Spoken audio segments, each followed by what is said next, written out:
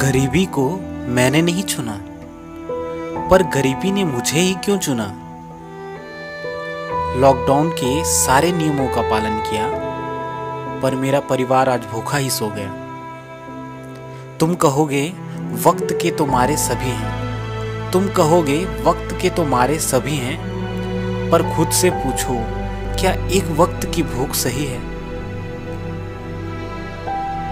जनाब मेरे घर पर चूल्हा है, पर आग नहीं, क्योंकि परसों से बनी कोई साग नहीं, कढ़ाई है, पर तेल नहीं, क्योंकि पैसा हमारे हाथों का मैल नहीं। किसान हूँ, पर घर पर धान नहीं, क्योंकि दुखड़े सुनने को कोई कान नहीं। ईमान है, पर मुझे कभी दगा नहीं करना।